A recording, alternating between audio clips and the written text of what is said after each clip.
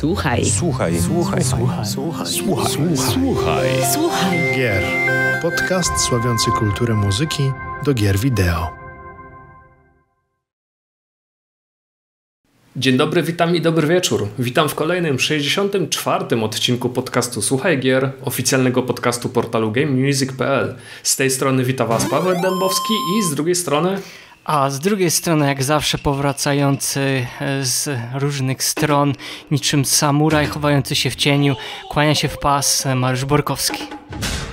I mamy również gości, nie byle jakich, po polskiej nie byle jaki. Ty zawsze co ty mówisz nie byle Wyjątkowy. To są nasi przyjaciele. To, to są, są kompanii, nasi... kompanii, to jest drużyna pierścienia prawie. To, to są nasi goście, goście specjalni.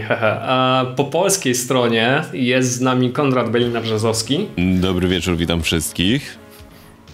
A z Londynu nasz korespondent Eee, Boże, przepraszam. Halo, halo. halo. Marcin, Marcin Machalanka, przepraszam, cześć.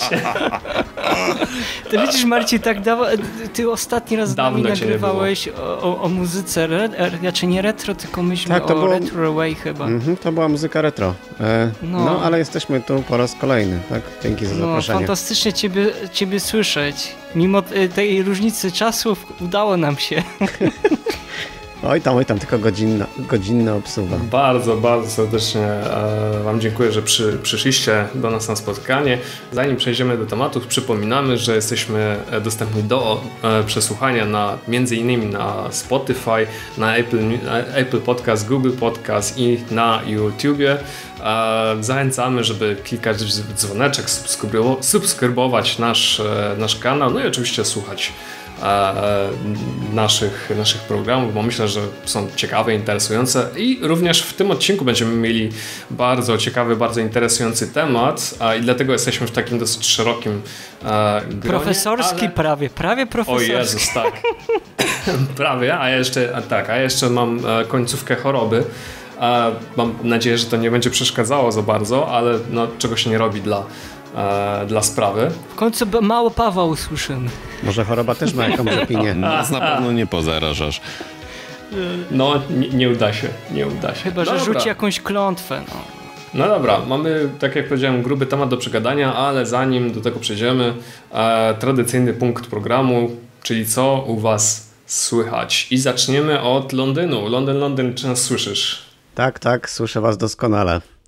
E, no, ze mnie lekki masochista, jak już e, ktoś tutaj wcześniej wspomniał, bowiem e, postanowiłem e, jeszcze raz przestudiować muzykę z serii Rage. Um, no jest to póki co mm, historia pełna wybojów, bym tak powiedział. Ale przyszykuje się jakaś recenzja niedługo, tudzież opinia. Zobaczymy, co też Wena przyniesie. Ja nie rozumiem. E, Marcin, ty będziesz musiał mi kiedyś wyjaśnić, dlaczego? Dlaczego ty sobie to robisz z tym Rage? I, ja kompletnie nie pamiętam muzyki, no ale doceniam, bo jesteś widocznie fanem Mad Maxa. Ja, ja też nie pamiętam, dlatego, dlatego zdecydowałem się jeszcze raz okay. nią zagrać. I zrozumieć fenomen. Przekonać, tak? przekonać się, co jest nie tak z tą muzyką. Okej, okay, okej. Okay. Rozumiem, że będzie rampage na, na, na tą muzykę, okej. Okay. Oj tak. No, przyda się trochę, ale takiego, że tak powiem, konstruktywna krytyka zawsze jak najbardziej. Mm, ujmijmy to, że będzie to konstruktywny roast. Uff. Oj, dawno nie mieliśmy roast, ro, roastu na stronie. Chyba ostatni napisał Konrad. Krzysztof chyba jeszcze też, Kus chyba napisał. Jeśli dobrze pamiętam. Tak. Krzysiek jeszcze pisał, tak. O Jezus, tak. Także jak najbardziej. Roasty jak, najba jak najbardziej poprosimy, przydadzą się na stronę. A Konrad, twoja kolej. U mnie głównie lecą w tej chwili dwa soundtracki e, na pętli właściwie od premiery, a właściwie od prapremiery, bo zanim dostałem grę to e, do recenzji, to, to, to miałem okazję posłuchać na Spotify'u mm, właściwie magnum opus Bera McCreary'ego, czyli God of War Ragnarok soundtrack. To jest e, mój osobisty soundtrack roku o ile nawet nie dekady, jakoś bardzo rezonuje w, y, ze mną ta muzyka, ale może też ze względu na fabułę y, samej gry. E, natomiast e, troszkę z polecenia też wziąłem się za mm, właściwie to jest artysta, mm, którego nazwisko od razu gwarantuje jakość, czyli Jesper Kyd. E, tutaj z polecenia Mariusza wziąłem się za Warhammera 40 tysięcy Dark Tide, chociaż jestem wielkim fanem uniwersum, jakoś, jakoś grom ufam średnio po Down of Warze trójce gdzie muzyka była genialna, ale gameplay niestety troszeczkę leżał i nie domagał, natomiast e, Dark Tide'owi postanowiłem dać szansę. I yy, no, gry jeszcze nie poznałem za dobrze, ale muzyka rwie wszystko, łącznie z papą z dachu. Eksperymenty Jespera mm, są tak e, kreatywne i tak. Mm, pozbawiony jakichkolwiek ograniczeń e, narzuconych przez klisze gatunkowe, że mm, przywodzą, przywodzą na myśl jego e, podrygi przy Hitmanie czy przy samych początkach serii Assassin's Creed. Także zdecydowanie bardzo mocno polecam, bo tam się dużo ciekawego dzieje w muzyce. Chyba najbardziej będę ciekawy Twojej opinii koniec końców o e, God of Warze nowym, bo słyszę różne opinie o samej grze, natomiast o muzyce przyznam szczerze, jeszcze nic nie słyszałem. Znaczy sam próbowałem, ja mówiłem w którymś z, z ostatnich odcinków, że e, próbowałem się jakoś przekonać, ale nie, nie udało mi się. Nie wiem, chcę poznać twoje zdanie, może, może ja się nie znam po prostu. No recenzja już wkrótce, także, także będziesz mógł przeczytać, drogi redaktorze. E naczelny, także, także na, pewno, yy, na pewno będzie o czym przeczytać, ale osobiście uważam, że jest to jeden z tych soundtracków, który mógłby przekonać yy, do zagrania w grę, natomiast yy, faktycznie zyskuje bardzo mocno w gameplayu. Dla mnie to jest, jeżeli chodzi o implementację, to jest poziom Władcy Pierścieni. Tego, jak, jak muzyka tak, tak jak muzyka z filmem, e, muzyka Howarda Shore'a, jak z filmem, e, każdą scenę uzupełniała, tak samo mam wrażenie, że jeżeli wyłączyć muzykę e, Bera McCreary'ego, byłoby ujmą dla, dla narracji całej fabuły po prostu. Dla mnie, dla mnie ta gra jest grą kompletną, ale mówię, ona po prostu szczególnie rezonuje z, z tym, co ostatnio mi się w życiu wydarzyło i bardzo, bardzo intymnie mnie dotknęła ta gra. To jest jeden z tych powodów, dla których cieszę się, że nie przestałem grać w gry. Naprawdę. Bardzo, bardzo odważne stwierdzenie i czekam jak najbardziej na tekst. A Mariusz. Ojej, ja, ja będę powiedział, że krótko, postaram się krótko opowiedzieć, czego ostatnio słuchałem. Trochę tego słuchałem, bo teraz od jakiegoś czasu na pewno nasi czytelnicy mogli się zapoznać z tekstem, który no, zabrał mi trochę godzin, bo blisko 100 godzin. Skupiłem się na przesłuchaniu ostatniego roku pod kątem gier niezależnych i tak wiem, że wszystkiego nie zdążyłem prze, mhm. przes, przesłuchać. No więc mnóstwo pozytywnej dawki muzyki. Pozytywnie mnie to zaskoczyło, jak mimo wszystko ten miniony rok e, w starciu z wysokobudżetowymi produkcjami bardzo dobrze wypadł, jeżeli chodzi o gry niezależne. Mowa oczywiście o muzyce. Ale w międzyczasie no nie byłbym sobą, jakbym nie wracał trochę do takich staroci, a to w związku z tym, że też kolekcjonuję od ponad 15 lat muzykę do gier na, na wszelkiego rodzaju nośnikach, e, płyta CD, płyta winylowa, chyba kasety magnetofonowe sobie odpuszczę. No ale w tym wypadku no Shemio Orchestra version e, Tychiku Wanabe, Richi, Luigi, Takahiro Nita, Takanebe Mitsuyoshi i Tsuhio Yanagawa no perła w koronie konsoli e, Se Segi Dreamcast, no tak starzy górale snują opowieści o, o legendarnej grze Shenmue i wymysłu Yu Suzukiego -hmm. oraz Hiroshiego Aso. No oprócz takiej nowatorskiej wówczas rozgrywki, a także grafiki, produkcja no nadal posiada jeden z pamiętnych e, soundtracków dzieła gier wideo, zaś sam album e, Shenmue Orchestra Version to jest kwintesencją oraz e, podsumowaniem twórczości Takashiego Wanabe i wielu innych kompozytorów. No, sama płyta po wielu poszukiwaniach na aukcjach nareszcie, nareszcie trafiła do mojej prywatnej płytoteki. Mm, album w całości został nagrany przy współpracy Kanagawa Philharmonic Orchestra, no a same utwory brzmią jeszcze majestetycznie niż w samej e, grze. No jest to piękna fuzja delikatnej muzyki orkiestrowej z orientalnymi instrumentami pochodzącymi z Chin. Poezja obowiązkowa dla fanów serii, serii Shenmue oraz sympatyków muzyki do gier. Oj, no jeżeli chodzi o... Shenmue to tak, jest... ty ostatnio skończyłeś. Oj, ostatnio. Ja w e, Shenmue 1, 2 tak. grałem jeszcze na Dreamcastie, mój drogi, a teraz mm. ogrywam wersję, no, tak, tą, tą wersję odświeżoną. Niedawno przyszedłem pierwszą część, teraz się zabieram za drugą i od razu po drugiej odpalę sobie trzecią i to będzie Okej, okay, to ty sobie, to będziesz e, się męczył trzecią. No dobra, okej. Okay. E, zaś jeżeli chodzi o e, drugą pozycję, no to Gran Turismo 3 Aspects Origin Games Soundtrack Masahiro Ando, Daiki Haso i Isamo e, Ohira. No ostatnio jakoś, nie wiem, postanowiłem sobie, że skompletuję kolekcję soundtracków do cyklu gier Gran Turismo i tak szczęśliwym trafem do mojej biblioteki jakiś czas temu dołączył album właśnie z muzyką do trzeciej odsłony, popularne ścigałki od Polyphony Digital. No i w moich oczach, nie wiem, seria Gran Turismo, to jest oczywiście moje zdanie, bo wiem, że tutaj e, Konrad jest ogromnym fanem Need for Speed, no to w moim przypadku jednak to jest Gran Turismo, no, które zrewolucjonizowało rozgrywkę, jeśli chodzi o wirtualne wyścigi, no i podniosła na pewno poprzeczkę dla konkurencji. No podobnie było trochę też z muzyką, która wyróżniała się trafną mieszanką elektryzującego rocka, a także AC jazzu pomieszanego trochę z kawałkami klubowymi. No z których Japończycy są bardzo cenieni na, na, na świecie. Mm, album zdecydowanie wyróżnia się na tle pozostałych płyt z uniwersum Gran Turismo, gdzie głównie panują kompozycje nastawione na gatunki z pogranicza muzyki trance. Tak więc no, ja osobiście bardzo serdecznie polecam i tyle z mojej strony. Pawle, Pawle, a co ty słuchałeś ostatnio? Jak zwykle mimo moich próśb rozgadałeś się. No można i tak. A... Bardzo skrótowo, bardzo skrótowo. To był skrót a... myślowy.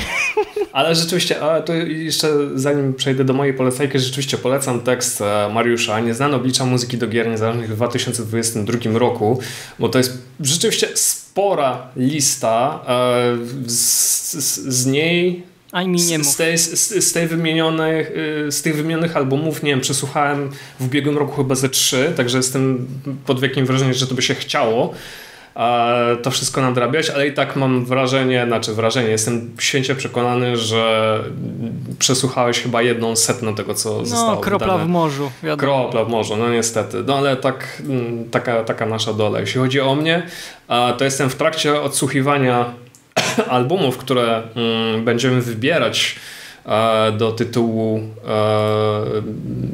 e, album roku Game Music e, za ubiegły rok. No między innymi odsłuchuję jeszcze raz muzyki do God of War Ragnarok, tak jak mówiłem i w poprzednim podcaście, tak jak w, tym w dzisiejszym odcinku. To jest soundtrack, który do mnie średnio trafił, ale to jest może właśnie związane również z odbiorem samej gry, no i też takich, takich własnych przeżyć, tak? To jest to, ale co, wiesz co, ja ci, wejdę, ja ci wejdę słowo to ja miałem ostatnio rozmowę na ten temat z Konradem i powiedziałem mu, że to wynika chyba z tego, że muzyka jest bardzo zespojona z obrazem i póki bardzo. nie zagrasz w mhm. grę, to ta muzyka tak do ciebie nie będzie trafiała. I to jest chyba, to jest zarazem plus i minus tej gry. To znaczy, ona jest fantastyczna. Ja, ja nic nie ujmując temu, co Bill McCurry zrobił, bo zrobił kawał dobrej e, roboty, ale mam wrażenie, że niestety ta tym minusem, taką piętą achillesową tej ścieżki dźwiękowej jest to, że ta muzyka jest bardzo mocno zespojona z obrazem. To znaczy, mm -hmm. jest mhm. bardzo interaktywna i przez to, jeżeli ty nie, nie masz przed sobą tych scen, tych obrazów i słuchając tej muzyki, to, to ona ci za bardzo nic nie -hmm. mówi. Wiesz, Dokładnie. ona ci nic mówi. To jest tak jakbyś nie wiem, czytał komiks i nie byś nie, wi nie widział w ogóle obrazków, tylko wiesz, widziałbyś treść, tak? Na mm, sam scenariusz. Sam no, scenariusz. No, no, no, no. Ale to, to, to jak najbardziej się zgadza i też, też e, to jest w mojej recenzji ujęte a propos jednego konkretnego utworu, tytułu nie podaję, bo byłby to duży spoiler, ale faktycznie jeden z utworów, który się odzywa w ostatniej, ostatecznej scenie gry, faktycznie yy, bardzo rezonuje tylko i wyłącznie z tymi graczami, którzy, którzy zagrali i przeszli grę. To jest prawda. Jasne. No dobra. Um, także temat God of War na razie, na razie zamykamy. No zobaczę, zobaczę, może moja opinia rzeczywiście się zmieni, jeśli w końcu nareszcie ogram e, najnowszą, najnowszą odsłonę.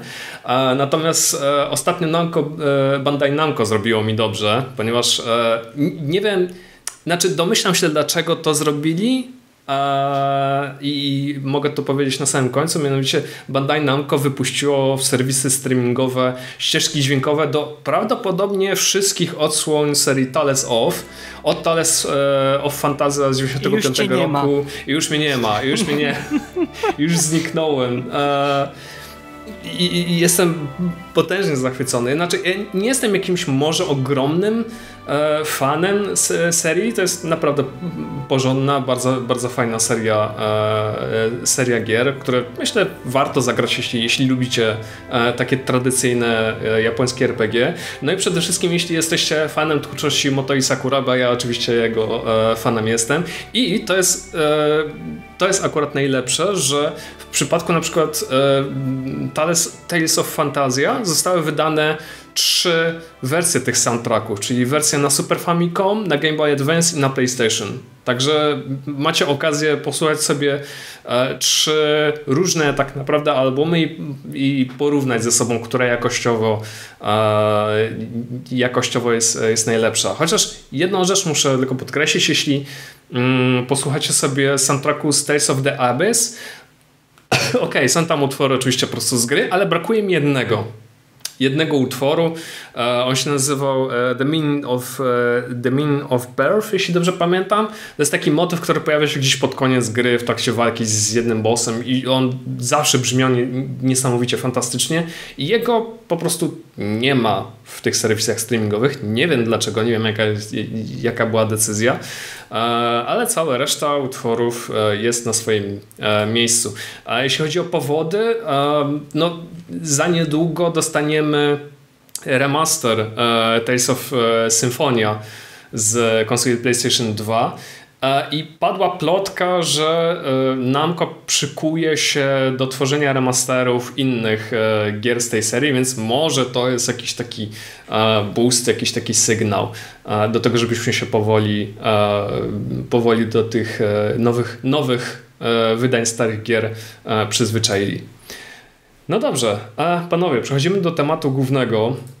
Mm, będziemy oczywiście rozmawiać o muzyce jak najbardziej, ale będziemy o niej mówić pod kątem technologicznym, czyli będziemy mówić o nowych technologiach.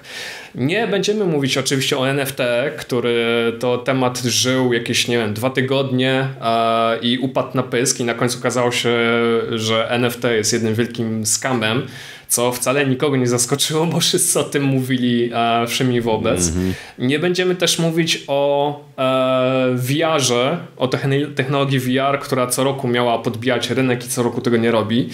Nie będziemy mówić też o technologii 3D, która zrobiła wielki szum przy okazji e, premiery pierwszej e, części filmu Avatar, a gdy to mówimy, no już, już jesteśmy w, w trakcie e, oglądania drugiej części Avataru i o technologii 3D już w zasadzie się nie mówi. Można powiedzieć, że została kompletnie zapomniana. Nie, nie, nie.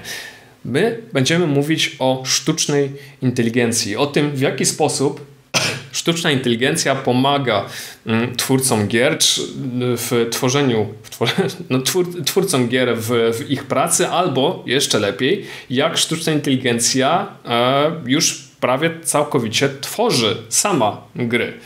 Um, ten y, temat sztucznej inteligencji w służbie game devu przewijał się w Giereczkowie od y, no, ładnych kilku lat i powstało kilku publika kilka publikacji, ale ten temat nigdy jakoś tak nie zaistniał szeroko w takim mainstreamie.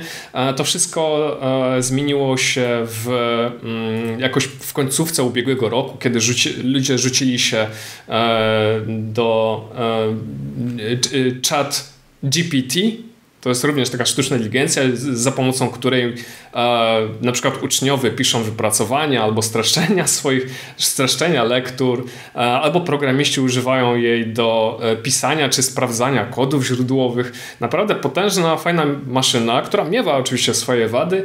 E, no, niemniej jednak już pod koniec roku zaczęły się pojawiać troszkę bardziej odważne głosy e, poświęcone temu, czy sztuczna inteligencja rzeczywiście no, będzie jeszcze bardziej pomagać e, twórcom gier w ich pracy, albo postawmy krok dalej, e, czy sztuczna inteligencja jest w stanie stworzyć, e, stworzyć grę tak w całości, od samego początku do końca. I można ja bym jeszcze, ja bym, sorry, ci przejdę, przy przeszkodzę, ja bym jeszcze tak e, śmiało bym nawet zaryzykował powiedzenie, czy, czy sztuczna inteligencja w pewnym momencie zastąpi kompozytorów na pewno Zastąpi... tym będziemy dzisiaj, Właśnie, dzisiaj oj, będziemy, będziemy, rozmawiać, będziemy, aż ten tru, trup, trup wypłynie na powierzchnię ziemi, e, naszej wody mam na myśli. Tak, ponieważ, ponieważ sztuczna inteligencja w game devie to jest oczywiście pewne, pewna szansa dla, dla branży, ale niesie również ze sobą pewne zagrożenia. O tym będziemy oczywiście mówić, ale najpierw chciałbym zapytać e, naszych gości, naszych specjalistów, ludzi siedzących w branży, e, jak wy widzicie rolę sztucznej inteligencji w, w game devie? Czy już zauważacie to, w jaki sposób jest ona wykorzystywana?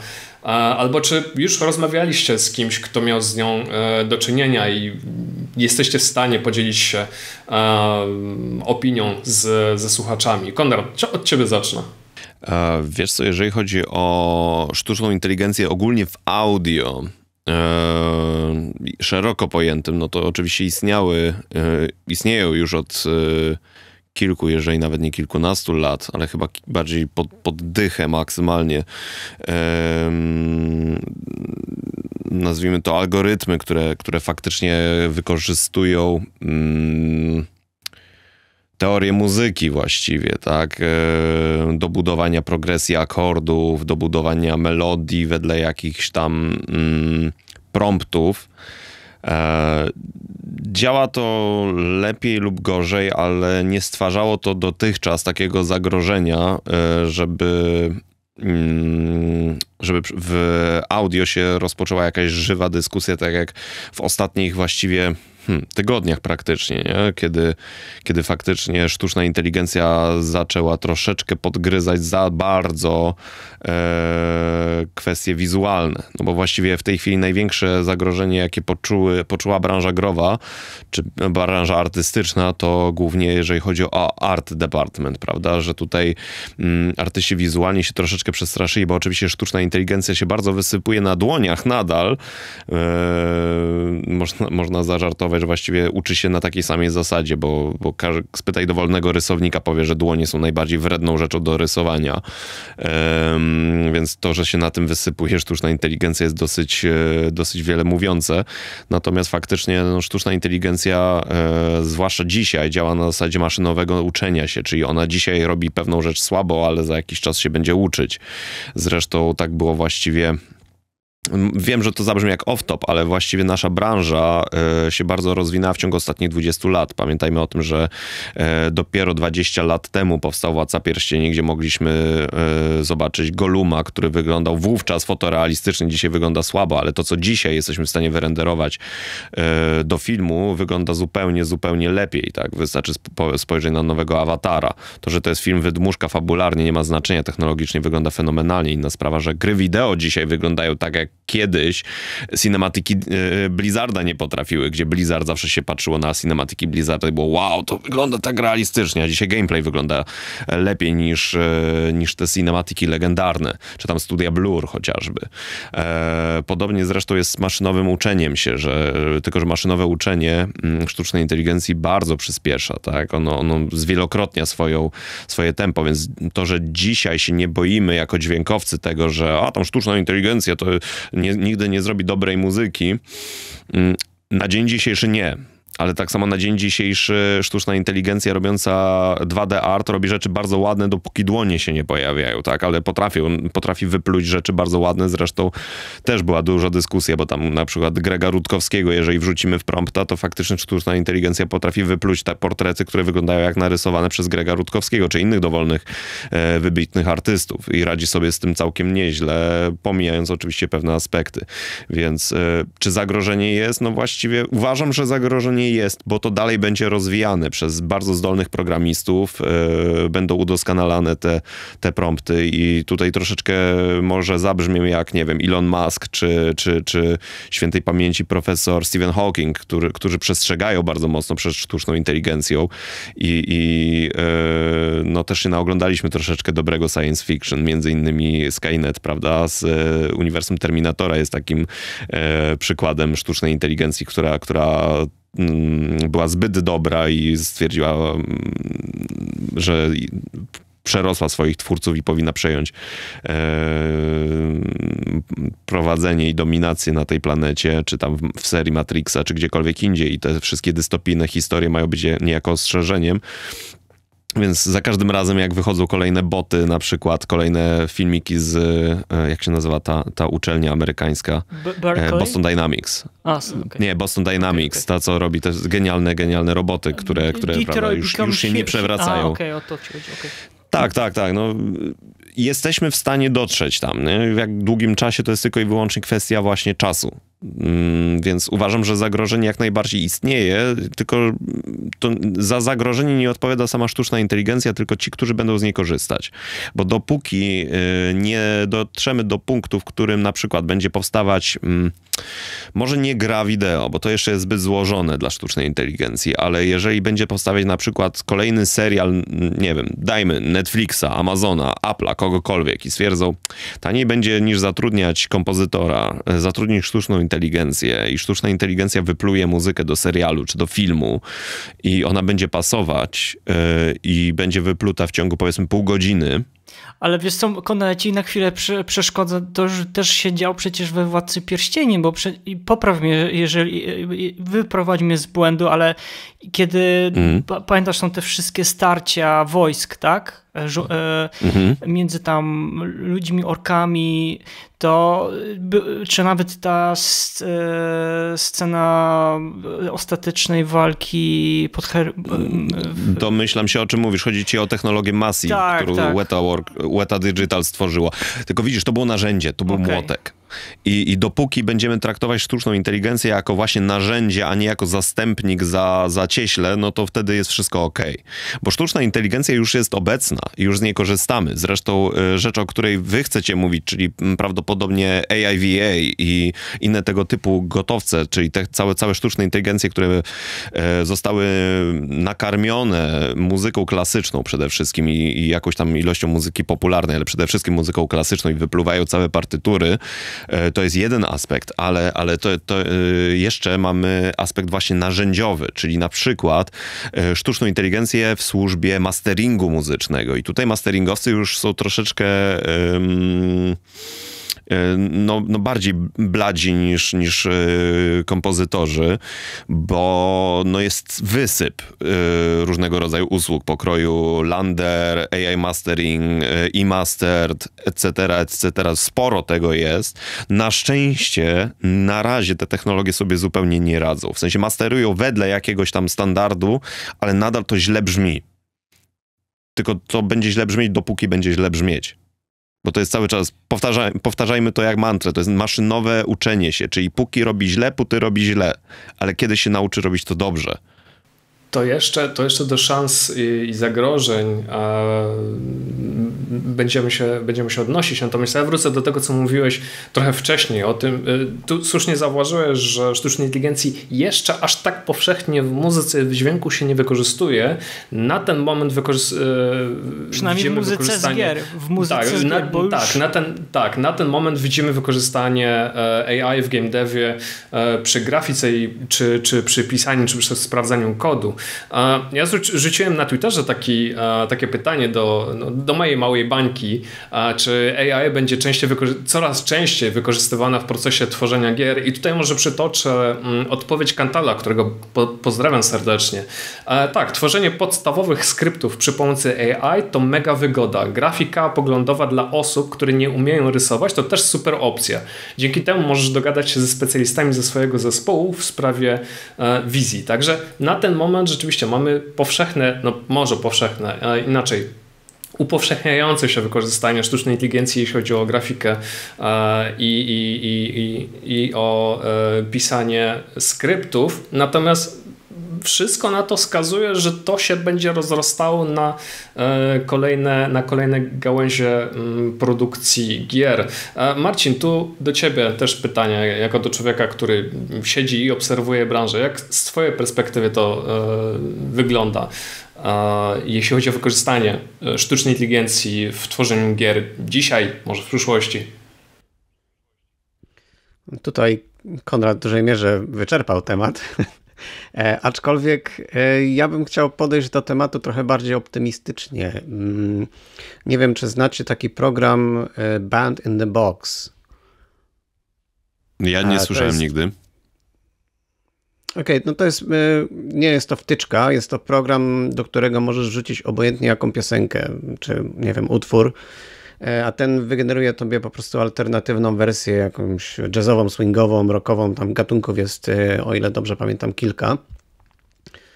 E, to nie jest też nowy program, on istnieje już na rynku kilkanaście dobrych lat, bo to było jakieś, nie wiem, 10 lat temu, kiedy pisałem muzykę do gry i producent mnie poprosił, żebym skowerował jeden utwór. Tak brzmiał podobnie, ale nie tak samo, bo wiecie, prawa autorskie, mm -hmm, nie? E, no i generalnie super sprawa, bo e, to była piosenka I Cover the Waterfront by the Ink Spots. Dosyć stara piosenka, tak czy inaczej. No i fajnie, bo wrzuciłem e, oryginał. Program praktycznie w 80% zrobił wszystko za mnie. Skowerował fantastycznie utwór. Także był niemal, że nie do poznania. Natomiast no, nadal jednak był to utwór, który wymagał jakiejś tam korekty, jakiejś postprodukcji. Były sekcje, które po prostu były kompletnie zniszczone przez, przez ten utwór, jakieś tam aranżacje fortepianowe na drugim planie, które grały, wiecie, akordy zaaranżowane na 15 palców.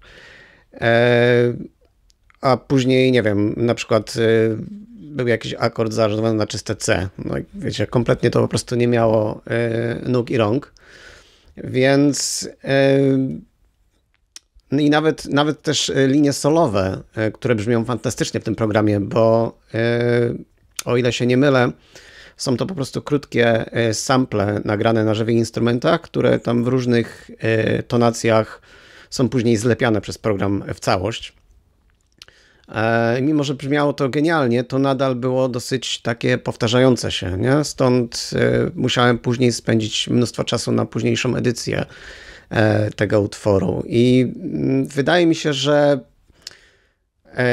jeden z tych artykułów, który przeczytałem nie tak dawno, bodajże Marka Labe, który wspomniał właśnie o, o AIWA, napisał, że mm, program stworzył utwór, ale mimo wszystko y, po kompozycji stał jeszcze cały sztab ludzi, którzy, którzy musieli ten utwór wykończyć, porobić jakieś malutkie korekty, czy też y, zrobić mix, mastering.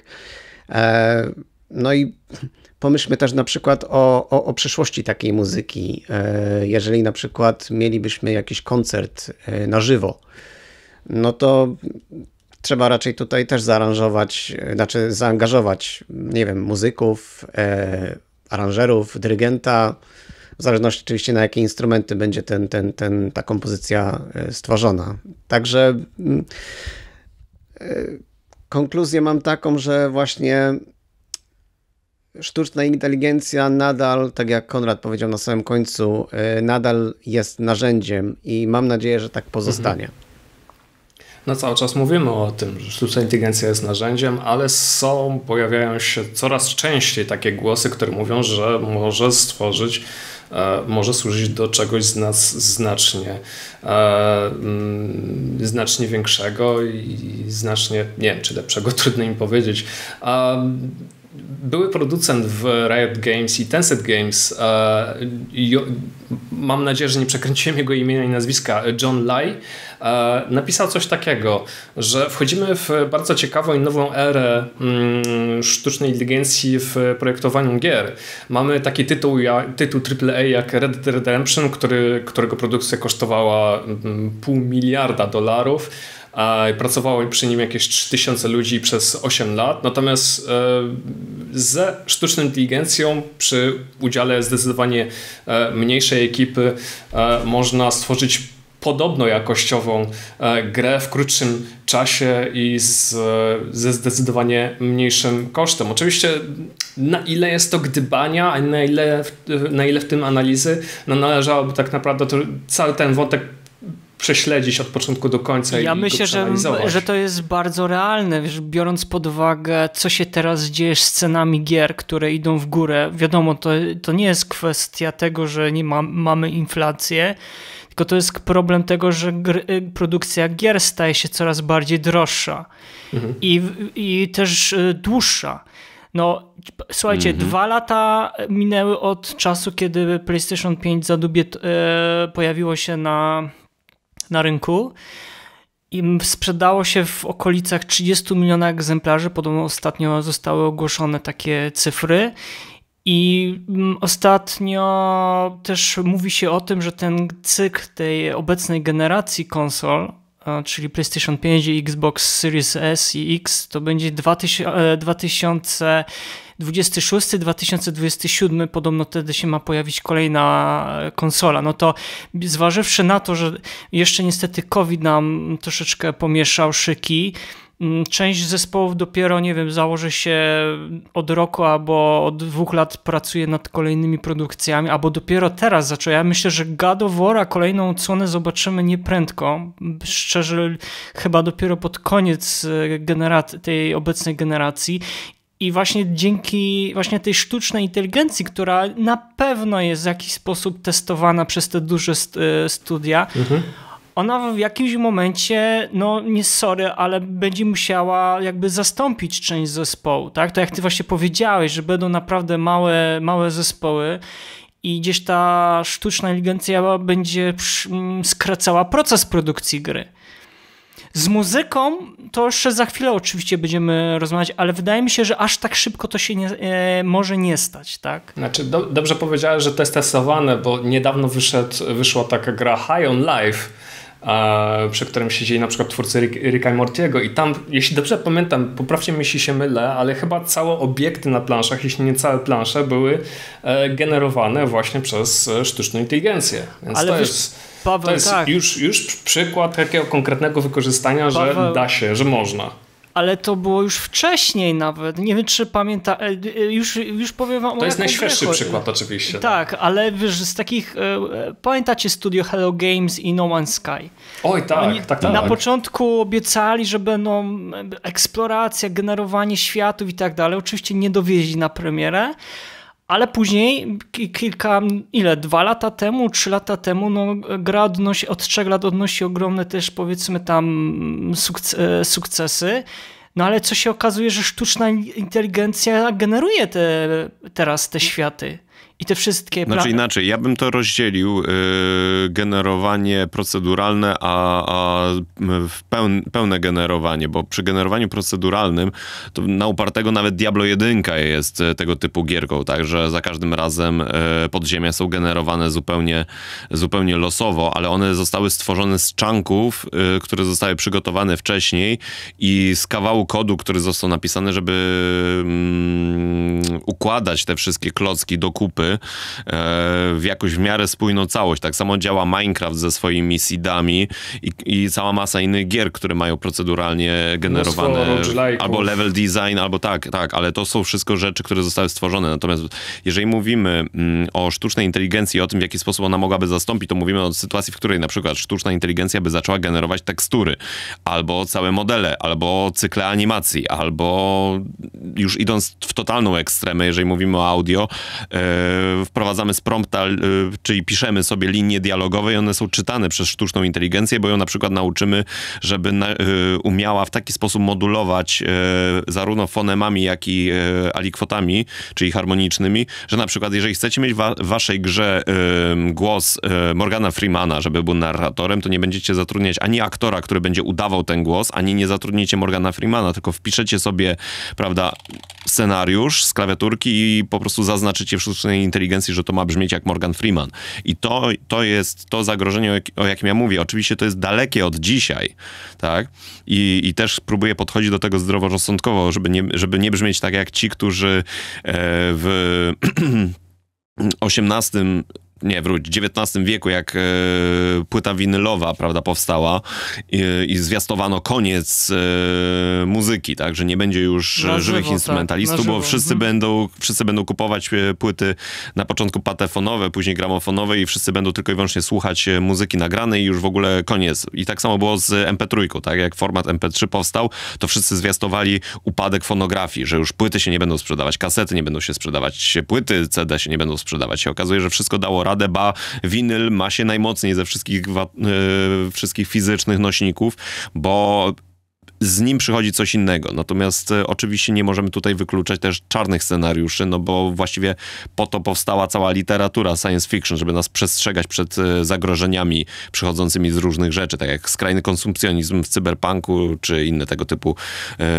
elementy. Więc mówię, tutaj bym rozdzielił to, że mamy narzędzie, które pomaga nam coś zaangażować, czy- zaaranżować to, co my stworzyliśmy, a co innego mieć narzędzie, które wyręcza nas w tej artystycznej, w tej mię- miękkiej tkance. Także tutaj ja rozumiem obawy e, artystów wizualnych, że oni się boją tego, no bo faktycznie mm, AI potrafi coraz ładniej rysować. No tu powiedziałeś jedną taką, e, dla mnie trochę zabawną rzecz, że powstały całe literatury, czy nawet całe gry ostrzegające nas przed za- zagrożeniami świata, ale musisz też pamiętać, że my się z tego e, nie uczymy, nie wyciągamy wniosków. No The Sims jest takim, taką jedną wielką satyrą na konsumpcjonizm, a stało się jej ofiarą. A, słuchajcie, od szczegółu do ogółu, bo mówiliśmy o mm, wykorzystaniu sztucznej inteligencji w ogóle w game devie, a teraz wejdziemy na nasze podwórko i muszę was zapytać wprost, czy AI, czy sztuczna inteligencja napisze muzykę do gry kiedykolwiek, bo już mamy takie przykłady takich, e, takich systemów, jak na przykład Aiva, e, która przeanalizowała, przepraszam, ile? 30-40 tysięcy e, klasycznych takich utworów i na ich bazie tworzy e, swoją własną muzykę. Zresztą, zresztą to jest nie tylko Aiva, jest jeszcze kilka innych, um, innych takich programów, które są zdolne e, wykonać takie zadanie. No tylko właśnie, czy usłyszymy kiedykolwiek, czy jest, jest, jest, jest taka szansa, że e, sztuczna inteligencja będzie w stanie stworzyć e, na przykład muzykę do Wiedźmina albo do jakichś innych e, mniejszych, większych tytułów. Tu może zacznę ten rozmowę od, e, od e, Marcina. No to jest dosyć otwarte pytanie, tak? Bo napisać napiszę. Pytanie tylko, jaką muzykę napiszę. I em, no zacznijmy od tego, że w sztuce, nie tylko w muzyce, ale i w rysunku, innych formach, innych formach sztuki, no wymagana jest kreatywność, styl, no nie wiem, wrażliwość też. E, No i tutaj pojawia się kolejne pytanie, czy sztuczna inteligencja takie zdolności posiada, bo no, maszyna nie ma duszy, przez co nie ma wrażliwości. E, możemy maszynę zaprogramować, tak by napisała emocjonalną muzykę, ale nie będą to emocje autentyczne, tylko no nie wiem, wygenerowane przez algorytm.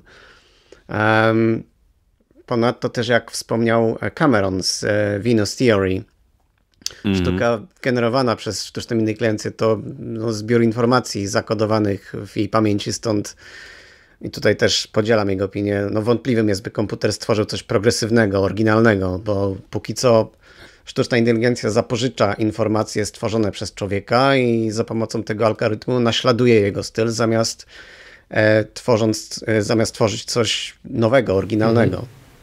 To jest, to jest fajne to, co ty powiedziałeś. To też mi się ci- cisnęło na język, że oczywiście sztuczna inteligencja stworzy muzykę, ale to będzie muzyka bardzo taka mechaniczna, taka wyuczona. E, natomiast to, czego sztuczna inteligencja no, nie odda w swoim dziele, to są właśnie emocje, które są oddawane przez ludzi z krwi, z krwi i kości. A Konrad, jak ty to widzisz? Tutaj mi się aż, aż ciśnie e, takie pytanie egzystencjalne na zasadzie, a czymże jest człowiek, jeżeli nie zbiorem wszystkich doświadczeń? Tak naprawdę to, co tworzymy, to cała nasza kreatywność, to jest, to jest te kilka e, lat, które spędzamy chłonąc z zewnątrz, jak gąbka, wszelkiego rodzaju doświadczenie i później je e, przetwarzamy. I właściwie idąc tym tropem można stwierdzić, że właściwie człowiek jest swego rodzaju sztuczną inteligencją w tym koncepcie. I, I jedyne, co nas wyróżnia, to to, że my jesteśmy biologiczną maszyną. E, I, i no naprawdę, no... no Battlestar Galactica się wita. właściwie, właściwie moglibyśmy każde dowolne uniwersum spróbować w to wpakować, tak?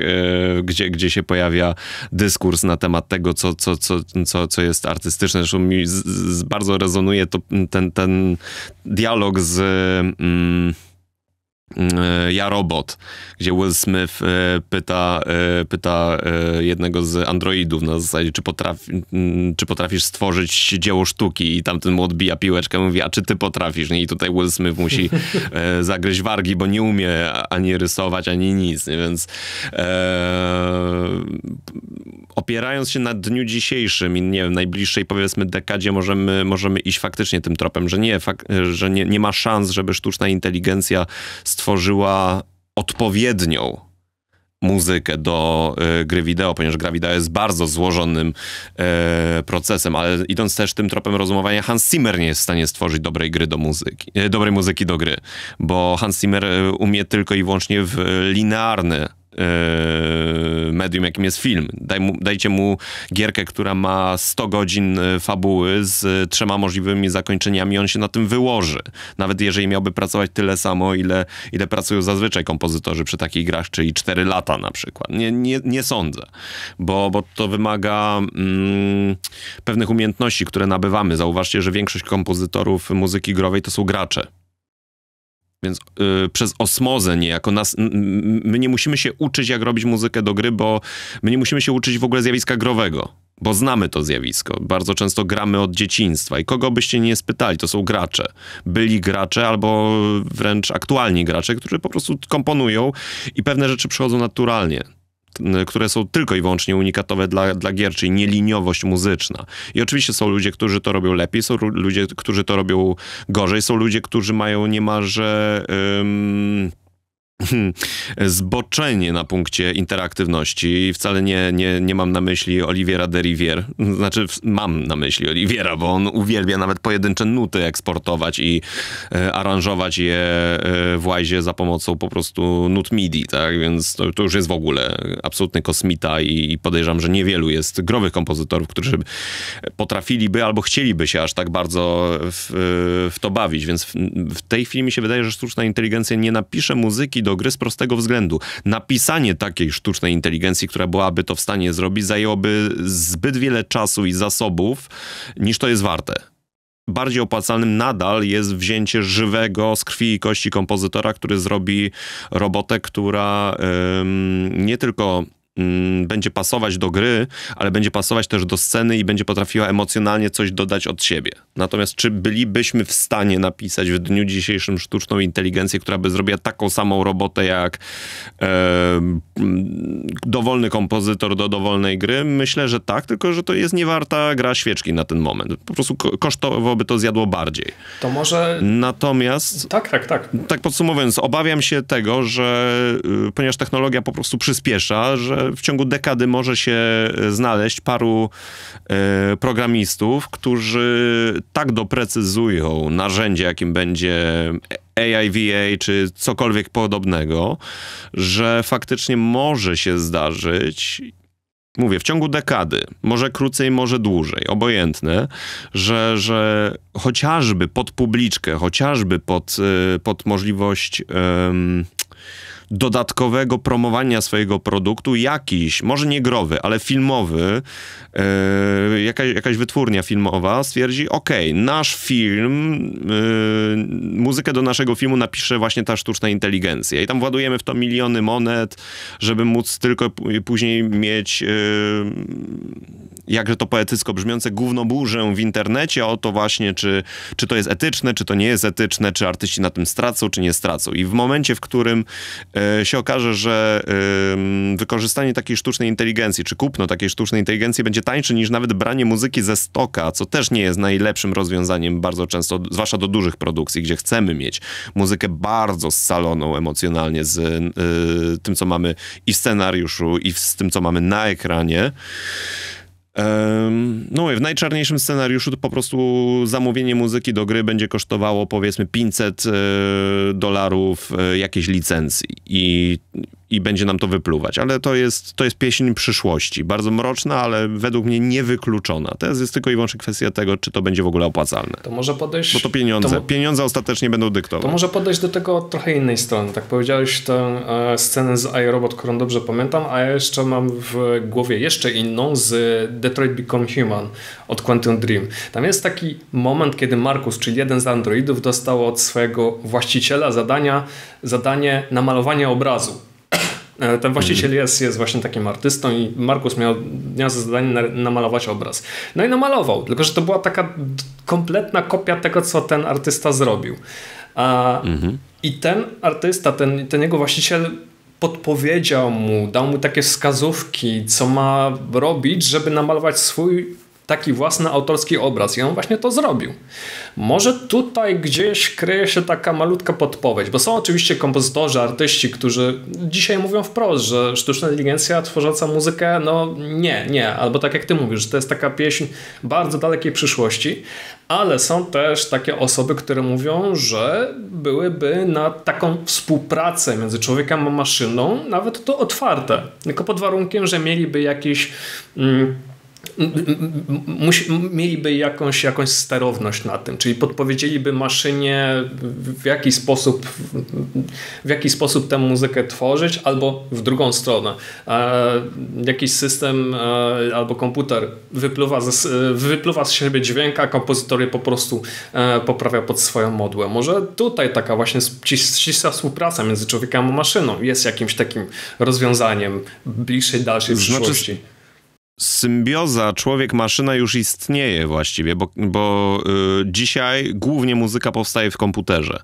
Niezależnie od tego, jak, z, jakiego, z jakiego narzędzia korzystamy, ale jeżeli przykładowo ja miałbym stworzyć w dniu dzisiejszym muzykę y, zupełnie atonalną i nie, nie wprowadzić ani jednej nuty, tylko użyć generatorów nut losowych, to ja potrzebuję 15 minut z Ableton Live, bo mam e, tam całą masę narzędzi, które będą mi po prostu wypluwać przypadkowe nuty. Ja mówię, ja mogę nawet wprowadzić co najwyżej cera skreślne, żeby jakiś tam rytm zbudować, a reszta będzie się e, transponować w locie. Wszystko się będzie działo automatycznie, tylko będę dokładał narzędzia, które będą to jeszcze bardziej urozmaicać. Także to już mamy.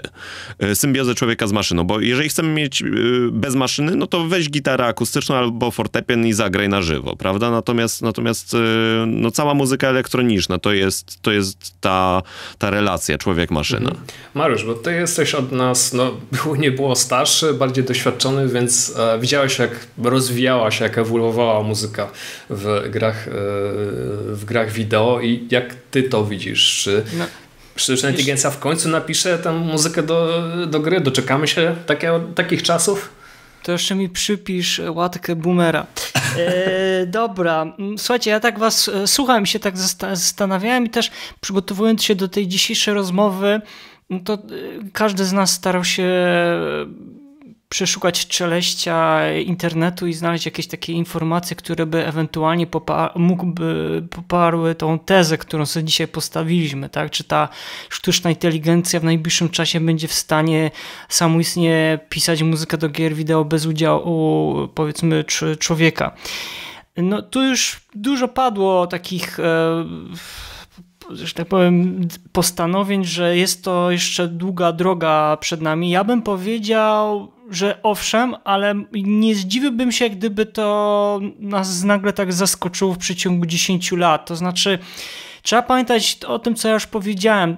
Ten, z racji tego, że ten okres produkcji gier wydłuża się i czasami widzimy już to po sobie, że jest taka, takie wyczerpanie trochę kreatywności. To znaczy, na szczęście te niezależne produkcje z roku na rok jeszcze trzymają ten poziom.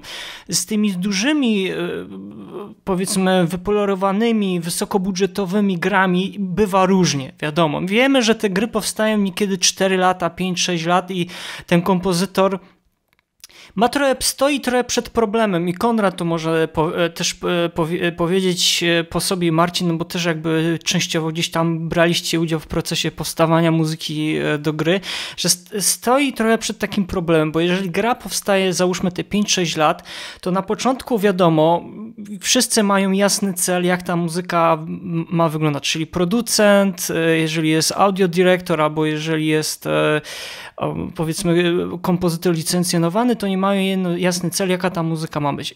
Ale wszyscy sobie zdajemy z tego sprawę, że przez lata ta muzyka jest w stanie się później, e, gra się zmienia, tak, bo się powiedzmy ewoluuje. Dobrym przykładem był Cyberpunk, który tam chyba dwa czy trzy razy był e, modernizowany chyba na, na nowo. I ja nie wiem, jak ta muzyka na samym początku mogła, mogła brzmieć. Nie zdziwiłbym się, jakby też ewoluowała. I czasami jest tak, że jak na przykład jest jakiś tam powiedzmy budżet, tak, Zamk zamknięty, który nie można już go przekroczyć. Muzyka już dawno została nagrana i się okazuje, że gdzieś tam w, trzech czwartych produ produkcji gry dużo się zmienia, nie wiem, w fabule, albo zmieniają się takie elementy, gdzie muzyka w pewnym momencie nie pasuje, tak, I co, i co wtedy? I co wtedy producenci mają robić? I mi się wydaje, że tutaj e, wyjdzie naprzeciw właśnie ta możliwość tej sztucznej inteligencji, która na podstawie tej muzyki, która została załóżmy przygotowana, ona będzie mogła w stanie wygenerować, ale to jest to, o czym też Konrad powiedział, to będzie znowu jakieś narzędzie, tak? Które, która będzie mogła w stanie wygenerować e, propozycję jakiejś tej muzyki, ale i tak człowiek będzie musiał stanąć przed tym monitorem, monitorami i będzie musiał poprawiać, tak? Bo, by, bo sztuczna inteligencja nie będzie wiedziała, czy ta muzyka faktycznie będzie pasowała do danej sceny. Na pewno trzeba będzie zmienić jakieś tam e, w partyturze, nie wiem jak to będzie z dynamiką i, e, e, dynamiką i tempem, ale jeszcze tak troszeczkę y, powiem jedną rzecz, y, nawiązując do tego, bo nie wiem, czy wiecie, mm, ale też jakiś, y, znaczy jakiś czas temu, no trzy lata temu ukazał się artykuł na e, NBC News e, Science i tam niejako próbowano zrobić taki eksperyment. Kojarzycie na pewno niedokończoną symfonię ósmą e, Franka, Franza Schuberta, mm -hmm, tak? Mm -hmm która tam została porzucona w 1822 roku. No i, i e, jeden z kompozytorów, tak, e, Lucas Cantor, który jest kompozytorem, mieszka w Los Angeles, razem ze sztuczną inteligencją starali się dokończyć to dzieło. Czy to się udało, no to, to sobie każdy może do, e, jakby dopowiedzieć, czy się ta muzyka finalnie podoba, czy się nie, nie podoba. I mam zdaniem, że to wszystko się zacznie chyba na zasadzie jakichś narzędzi, tak, że będzie y, kompozytor jak stanie przed jakimś trudnym wyborem albo terminem czasowym, bo wiemy, że kompozytorzy czasami bardzo pod dużą presją czasu pracują, tak samo i, i inżynierowie dźwięku i sound designerzy, wszystko zależy oczywiście od czasu produk produkcji gry i budżetu. Ale z racji tego, że będzie ta sztuczna inteligencja, ona na pewno ułatwi będzie starała się ułatwić ten proces e, tworzenia, ale będzie miała jeden problem, który ja nie jestem sobie w stanie w nie jestem w stanie sobie odpowiedzieć na to pytanie. Chodzi o kreatywność. Ona nie będzie kreatywna, bo tak jak tutaj już mówiliśmy o tej AI, e, tej sztucznej inteligencji, gdzie tam rzucono jakieś hasło i ktoś wygenerował utwór, tak? On tylko użyje te wszystkie jakby dostępne, e, sztuczna inteligencja użyje te dostępne narzędzia w postaci utworu, muzyki, wszystkiego, co jest w internecie, ale czy to będzie kreatywne, czy to będzie e, poruszało nas, tak, jako ludzi, um, myślę, że długa droga jeszcze na pewno przed nami.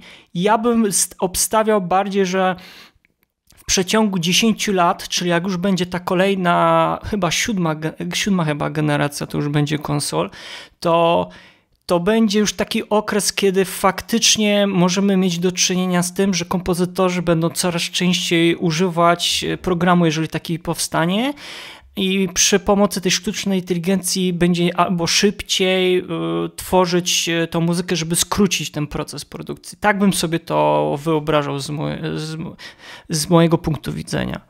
To musimy to podsumować te wady i zalety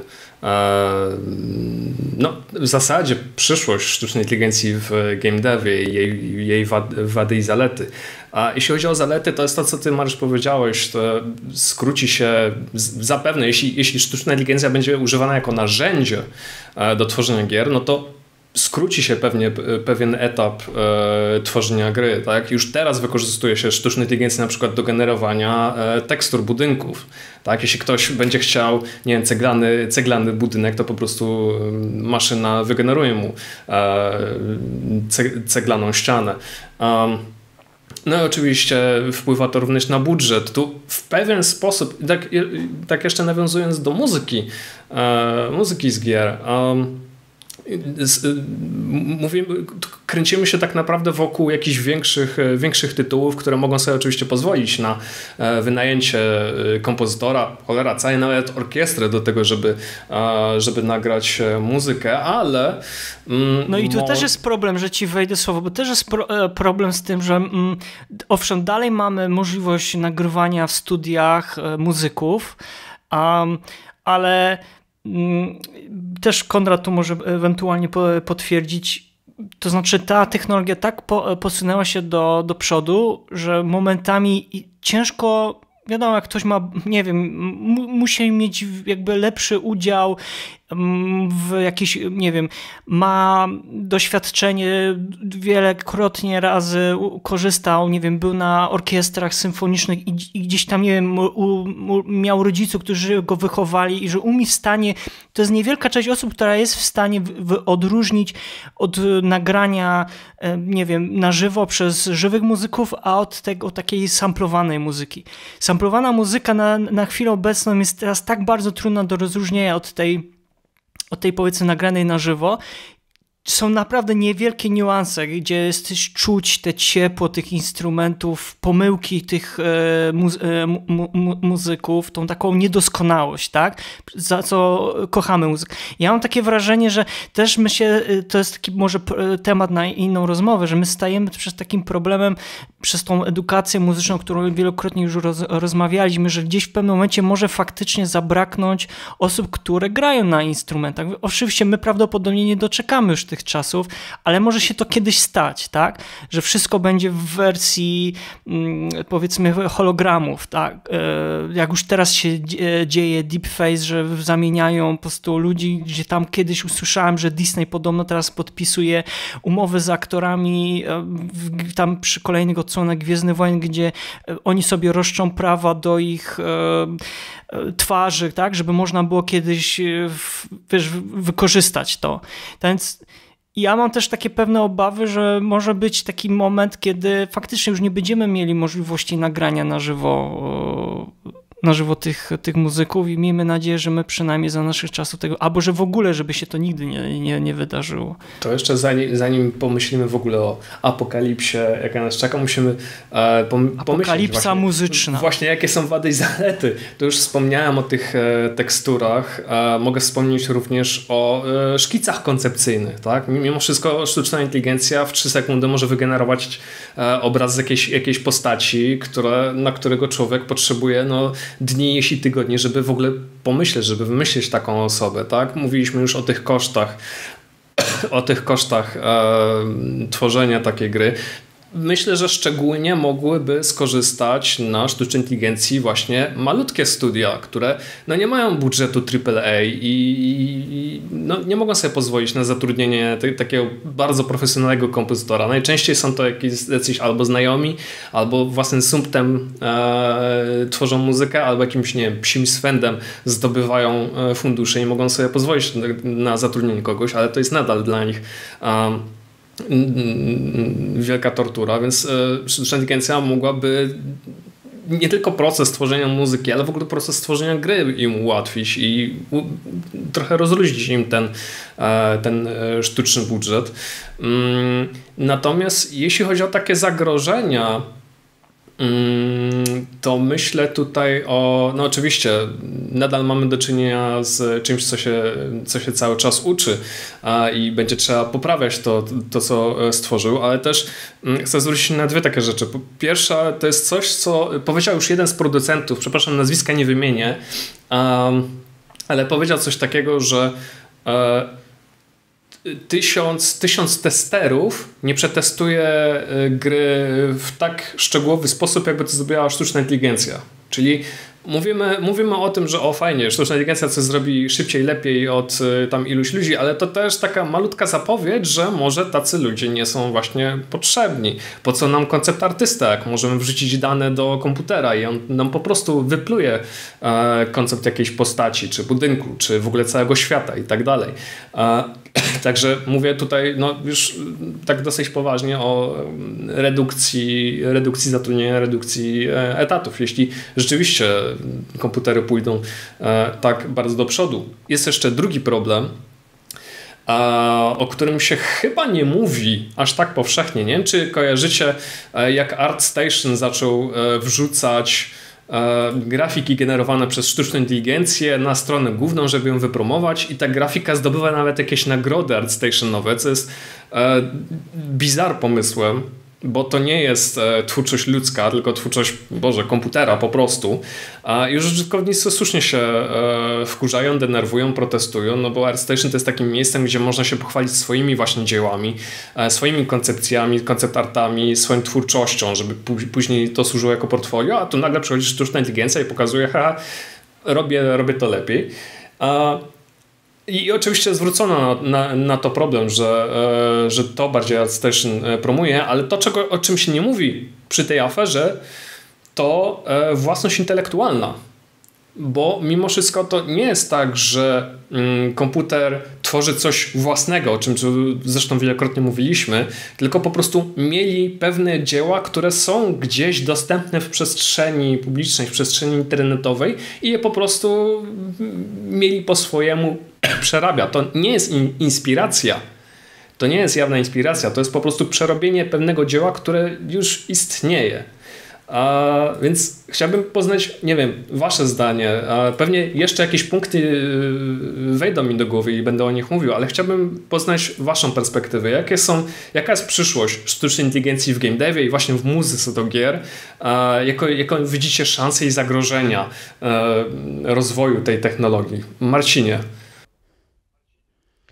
E, mi się trochę podobało to, co powiedział Mariusz, że mm, na chwilę obecną w branży no, materiał muzyczny jest już dosyć wyczerpany i tutaj może faktycznie sztuczna inteligencja wnieść trochę świeżości. Natomiast e, mowa tutaj też właśnie o progresywności i kreatywności. I no, dopóki sztuczna inteligencja nie zdobędzie świadomości, E, czyli samowolnego myślenia i, i tworzenia czegoś nowego, a nie z informacji, które posiada,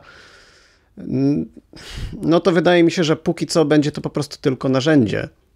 Ale narzędzie, które cały czas mimo wszystko się będzie rozwijało i za jakiś czas będzie czymś więcej. Tak, nie, tak z, z mojej perspektywy. Tak, tylko y, co mam na myśli, to to, że mm, póki co jest to nadal narzędzie, a nie jako jednostka, która powiedzmy, nie wiem, zacznie zdobywać nagrody za najlepszego kompozytora roku. Nie wiem, czy to ma sens, co mówię, ale. Nie no, zdecydowanie się z tym zgadzam, że póki co, tylko właśnie to póki co jest tutaj chyba najbardziej znamienne. Czyli za, nie wiem, Konrad, to może ciebie zapytam, bo jesteś bardzo rozmowny, a za jaki czas, no nie wiem, Mariusz tak mówi około 10 lat, ale tak z Twoim zdaniem, kiedy będziemy mogli mówić, że sztuczna inteligencja jest czymś troszkę więcej niż narzędziem, a czymś mniej niż nie taką samodzielną jednostką, która tworzy osobne światy? Hmm. Znaczy, bardziej niż kiedy yy, sztuczna inteligencja do tego dotrze z, yy, z, pomocą, z pomocą rozmaitych programistów i innych yy, magików. Yy, mówię, to jest kwestia czasu, natomiast tu nie chodzi o to kiedy. Pytanie jest ważniejsze, jaka będzie reakcja yy, tłumu. Po prostu. Bo no moim zdaniem, ja ci wejdę słowo, moim zdaniem ona będzie mm -hmm. bezinteresowna, bo wiesz co, to, to jest też taki troszeczkę bar, ogól, ogól, ogólny pro, pro, problem. Mm, też nie powiedzieliśmy, ale gdzieś tam starano się chyba nawet już rok czy dwa lata temu tacy niezależni artyści przy pomocy sztucznej inteligencji, którzy nie są z wykształcenia muzykami, kompletnie jakby nie mają wiedzy o, pod kątem operowania, nie wiem, tworzenia melodii, y, już współpracowali ze sztuczną inteligencją, która im wygenerowała muzykę pod ich wokal, tak? Czyli oni się nagrali, nie wiem, napisali tekst, a sztuczna inteligencja wypluła im piosenkę melodyjną. I... To ja, to ja może dopowiem jeszcze jedną, jeszcze jedną rzecz a propos tej obojętności. E, pamiętaj, Konrad, że no dla, niestety, ale większości graczy to nie jest istotne, jak gra powstaje, ile ludzi przy nim pracuje i ilu crunchowało przez pół roku. Tylko, tylko kiedy dostaną. Tak, tylko, tak, dokładnie. Najważniejsze, kiedy, kiedy gra wyjdzie, tak naprawdę. Więc... Tutaj się nie mogę z wami zgodzić, bo mamy przykład już wspomnianego Hello Games, tak? Gra wyszła, wyszła średnio, y, było naobiecywane za dużo, gra została zaorana przez graczy i właściwie tutaj historia powinna była się zakończyć, gdybyśmy tak, mieli tylko, że, wiesz, co mi się że, że gracze mają to w nosie. Tak, tylko że tam jeszcze natomiast, problem... natomiast gra została naprawiona. Tak, tylko że wiesz jaki tam był problem? O, tam był problem tego, mm. że oni mieli umowę z inwestorami tu w tym wypa- i też jakby producentami Sony. No przecież to było pod marką Sony. Pamiętaj, sorry, że ci przerwałem, y, Konrad. Y, było pod marką Sony to była mocno pompowana gra, która to miała być taką powiedzmy jednym z flagowych tytułów. No i wiesz, oni, no Sony sobie nie mogło pozwolić na, na coś takiego, że oni wypuszczają i zostawiają tą grę. Oni musieli jakby swój honor tak, uratować. Tak więc dlatego przez te kilka lat ta gra była łatana. To był jeden okay, z wielu powodów. No. Ale mogli łatać, wiesz, jest cała masa gier, które y, miały podobny, podobną historię, że Nie, nie, ja nawet nie mówię, wiesz, o, o, o takich oczywistych tak, AAA, tak, który, na, którym łatwo przykleić na, łatkę, tylko mówię o całej masie e, gier, chociaż w sumie AAA-owych też, które, które, które nie dowiozły na starcie, później zostały załatane, ale nikt już, nikogo już to nie obeszło. Natomiast tutaj był bardzo unikatowy Redemption Arc, gdzie, gdzie to gracze, to, wiesz, tam tu nie chodzi o promocję, bo możesz promować grę do oporu i, i, i to nic nie zmieni. Natomiast, e, natomiast tutaj mi się wydaje, że ze sztuczną inteligencją inteligencją będzie dokładnie podobnie, że mm, proces jest bardzo prosty, tak? Sztuczna inteligencja będzie rozwijana. To nie ulega wątpliwości. Tak samo jak, jak deepfake'i, tak samo jak wszystko po kolei. To będzie rozwijane. E, na pewno zaryzykują e, twórcy sztucznej inteligencji do, aż do stworzenia narzędzia, które będzie w stanie zrobić to, o czym dzisiaj mówimy, że a, to jest niewykonalne, bo przecież człowiek, prawda, kreatywność, pierdu, pierdu. Mi się wydaje, że ten proces będzie postępować. Kolejnym etapem będzie to, że ktoś, kto będzie korzystał z tej sztucznej inteligencji, spróbuje zrobić jeden lub kilka projektów, które będą totalnie pomijać y, kompozytora. Na razie mówimy o muzyce, bo o sound designie, mi się wydaje, że sound design jest na tyle złożonym i skomplikowanym, że tutaj nie ma na razie szans. Tak, ale jeszcze mamy pamiętać, że w przypadku sound designa mamy ogromne bazy sampli, tak? Że przecież równie dobrze mogą Teoretycznie można by spróbować, ale, ale wiesz, ja mówię o poziomie złożoności takiej sztucznej inteligencji. Jeżeli mamy mówić o czymś, co jest wykonalne w ciągu 10 lat, wydaje mi się, że kompozytorka jest wykonalna. Może nie growa, ale filmowa. Więc załóżmy, że mija ta dekada, AI już jest na tym etapie, więc jest, mówię, kolejny etap jest taki, że jaki, jakiś studio filmowe stwierdza, dobra, ryzyk fizyki, obojętne, czy to będzie kolejny film Christophera Nolana, tylko tym razem już nie będą robić prób nuklearnych, tylko nie wiem, wyślą człowieka, kurczę, na Marsa faktycznie, że kolejny Marsjanin sequel to już będzie kręcony na czerwonej planecie, bo to jest y, Christopher Nolan i kto mu, kurde, zabroni.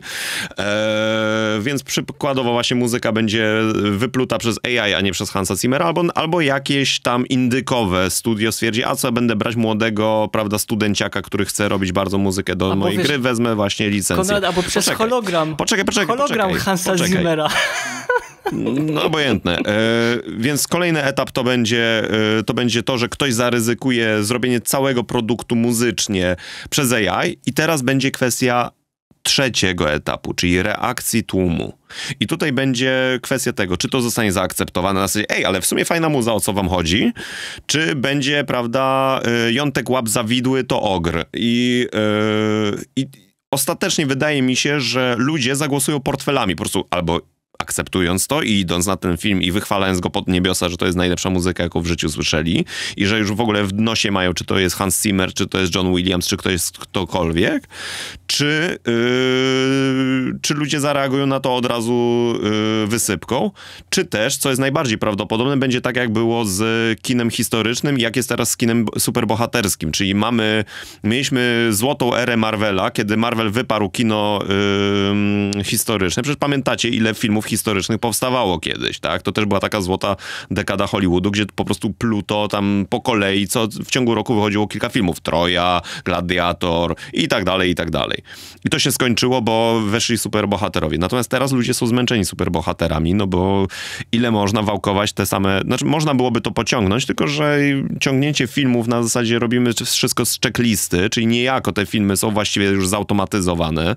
Może nie robi tego sztuczna inteligencja, ale właściwie nie robi to większego, większej różnicy wielu, wielu widzom. Ludzie są zmęczeni tym i coś nowego na pewno nadejdzie. Także, co mi się wydaje, może być taki moment, i tutaj spróbuję tak troszeczkę rozświetlić tą moją dystopijną wizję yy, apokalipsy kompozytorów, yy, że nawet jeżeli by się okazało, że to w pewnym momencie zagryzie, to ludzie się tym znudzą. Bo sztuczna inteligencja będzie w stanie wypluć coś w dowolnym stylu, ale w pewnych ograniczeniach nadal.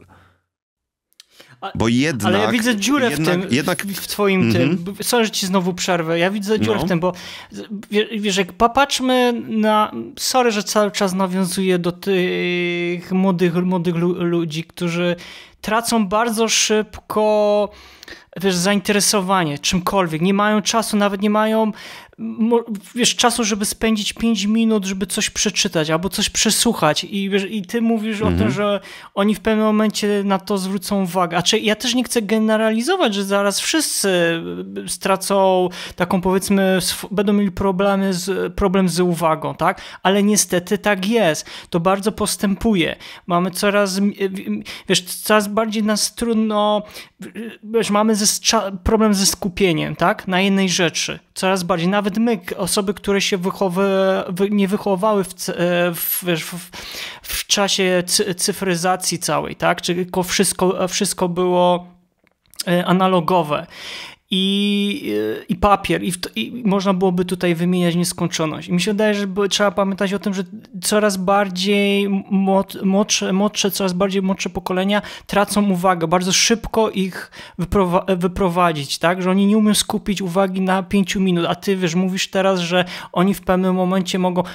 Oczywiście jest to dobry przykład, ja się z tym też godzę, ale mam wiesz, pewne obawy, że może się tak do, finalnie tak nie, nie skończyć i muzyka będzie bezimienna, to znaczy niezależnie jaka będzie muzyka, ona będzie wiesz, bez, bezimienna i ich to nie będzie interesować, kto to skomponuje. Aż tak bym się tego nie obawiał, wiesz, tutaj Ale to będzie wiesz, za 50-100 lat bym bo, tak strzelał dopiero. Bo, bo, bo, bo mm, pracuję w, w liceum i pracuję z młodymi ludźmi, którzy mają docelowo też być twórcami gier i i, i, i troszkę zabrzmiało boomersko, wiesz, z swojej strony, bo A podejrzewam, że on, o nas, tak, wiesz co, jak, jak, jak, powiem tak, jak miałeś 17 lat, to na pewno podobne teksty na swój temat słyszałeś od ludzi, ludzi którzy byli w twoim tak, aktualnym wieku. Tak, tak, co ty wiesz, człowieku, więc... ja, ja się wychowałem w czasach, kiedy byłem na koncercie Pink Floydów albo Black Sabbath. Tak, no, no, no, no, tak. dokładnie, więc y, tutaj ja bym się, owszem, jak najbardziej jest mocne przetasowanie y,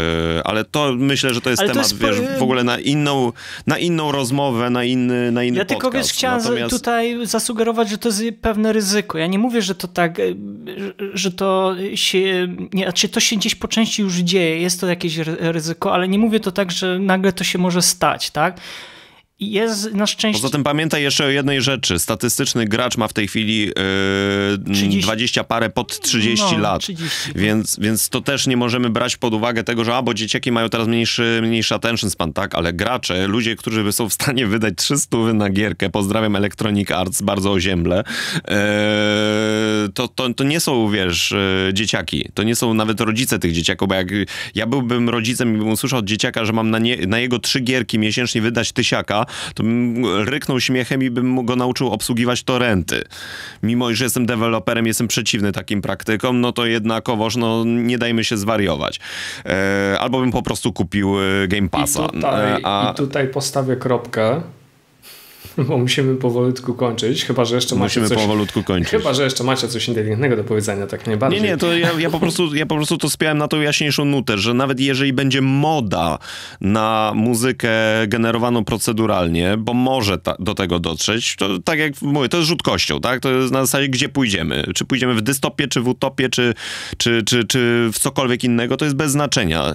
Natomiast jeżeli nawet byśmy doszli do tego, że ta sztuczna inteligencja będzie wypluwać dobrą muzykę, i tan tanią, bo kosztującą tylko tyle, ile licencje i to będzie brzmieć nierozpoznawalnie, czy tam po drobnych poprawkach, nierozpoznawalnie od, od orkiestracji nagranej, prawda, przez setki instrumentalistów, skomponowaną, zaaranżowaną i tak dalej, i tak dalej, że tylko z prompta wpiszemy, napisz mi muzykę w stylu Johna Williamsa e, do, y, powiedzmy, filmu o piratach z Karaibów, czy cokolwiek. I to będzie w pół godziny wyplute, genialne, idealne, mniam, mniam, to, to będzie moda, która, mam nadzieję, że to będzie moda, która potrwa ileś tam lat, ale w końcu się ludzie tym zmęczą i będą chcieli mieć nazwisko, pójść do kogoś, przy, wiecie, yy, zbić piątkę, zdobyć autograf na winylu. No kto ci się podpisze na, na, na winylu wyplutym przez prompta? Co, poprosisz, żeby ci sztuczna inteligencja się podpisała?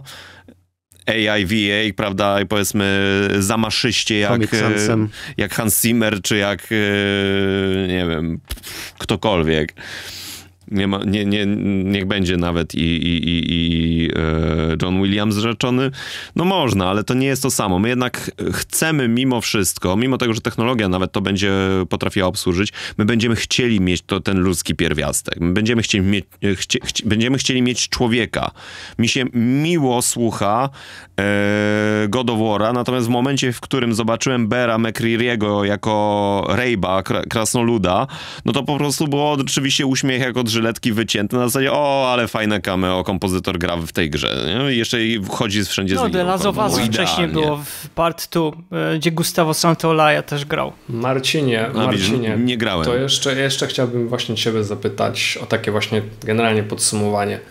Jakbyś, jakbyś ty to widział? Czy ty się zgadzasz z Konradem, czy, czy może wręcz przeciwnie? Tak, nie, mm, kompletnie to ma sens. E, kwestia, tak jak powiedział Konrad, czy pójdziemy w stronę utopijną, czy dystopijną. E, ja bym tu jeszcze dodał aspekt monetyzacji tego, no bo mm, tak jak Konrad wspomniał o, nie wiem, e, złotych czasach filmów historycznych, czy filmach, filmach o superbohaterach, które no już nie cieszą się popularnością, no to wynika też po prostu z tego, że w pewnym momencie przestały te filmy, budżet zaczął przerastać yy, przychody. No i dopóki, nie wiem, o ile wirtualne, nie wirtualne instrumenty, o ile, nie wiem, tacy wirtualni kompozytorzy yy, będą yy, dla takich małych indyków, dla takich małych firm e, robiących gry opłacalne, no to okej, okay, wtedy młodzi kompozytorzy, którzy, nie wiem, kończą tam studia i chcą robić muzykę do gier, mogą czuć się zagrożeni. Natomiast jeżeli będzie to produkt no, najwyższej klasy, tak jak właśnie e, ta technologia e, zamiany twarzy, zapomniałem teraz jej nazwy, FaceSwap, tak? Deepfake. No, no to tak, no deepfake. No to raczej będzie to produkt tylko taki właśnie z wyższych sfer, który będzie opłacany przez duże korporacje i na siłę wciskany ludziom. I tutaj postawimy już ostateczną, ostatnią kropkę, bo musimy kończyć nagranie, ale na pewno nie będziemy kończyć tematu. Myślę, że e, temat sztucznej inteligencji w game devie również e, w, przypadku muzyki do gier będzie do nas wracał e, wielokrotnie. Czy tak, rzeczywiście do tego za 5 lat? Czy rzeczywiście to jest tylko narzędzie, czy, czy rzeczywiście sztuczna inteligencja jest na ten moment tylko zabawką, czy już staje się poważnym narzędziem, dzięki któremu gry będą e, powstawały szybciej, czy to będzie jakieś potężny system, potężna maszyna, która będzie tworzyć z automatu gry po prostu na zamówienie, czy może po prostu to jest jedna wielka bańka, która mm, napęcznieje, a później pęknie niczym, niczym NFT w ubiegłym roku. No, na pewno ten temat będziemy musieli mm, baczniej śledzić i sprawdzać, jak się e, sytuacja rozwinie, bo myślę, że to będzie coś, no, myślę, wyjątkowego, coś fascynującego e, również dla naszej branży. Panowie, bardzo Wam serdecznie dziękuję za to, że dzisiaj byliście z nami i chcieliście na ten temat porozmawiać. Mam nadzieję, że nie, nie, nie zanudziliście się za, za bardzo. Nie, wcale. Nie. Ja się, ja się nie, bardzo. Po prostu nie będę mógł spać w nocy. Tak, ja się, ja, ja, ja jest, zawsze się cieszę, jak e, Konrad albo Marcin, e, nasze skromne progi tutaj pojawiają się, pojawiają się w tych skromnych progach i dzielą się swoją wiedzą, swoimi jakimś punktem widzenia, tak? Mhm. Bo ileż można naszych głosów, Pawle? Dokładnie, za dużo, za dużo. Zdecydowanie częściej musicie przychodzić. Może za 5 no. lat, e, jak znowu poruszymy ten temat, no to sztuczna inteligencja się wypowie. Zamiast nas. Zaprogramujemy taką, tak. Ta. Wiesz, tam za, 5 lat kolejny odcinek podcastu będzie generowany po prostu z prompta. Nasze głosy będą idealnie przeniesione. Z każdą manierą, z każdym błędem wokalnym. Wszystko, wszystko jeden do jednego będzie oddane. A my sobie w słoiczkach będziemy plumkać. Słuchajcie, podcast jest do przesłuchania w serwisach streamingowych, między innymi Spotify, Apple, Apple Podcast, Google Podcast, a także na YouTubie. Zapraszamy do subskrypcji i oczywiście słuchania, dzielenia się odcinkami. A natomiast w tym odcinku wystąpili Marcin Maślanka. Dziękuję. I Konrad Belina-Brzezowski. Bądźcie zdrowi. To był 64. odcinek podcastu Słuchaj Gier, oficjalnego podcastu portalu GameMusic.pl. Z tej strony żegna Was Paweł Dębowski, a z drugiej strony a po drugiej stronie mikrofonu, jak zawsze, wasz wierny samuraj kłania się w pas Mariusz Borkowski. Do zobaczenia, do usłyszenia następnym razem. Słuchaj. Słuchaj. Słuchaj. Słuchaj. Słuchaj. Słuchaj. Słuchaj. Słuchaj. Gier. Podcast sławiący kulturę muzyki do gier wideo.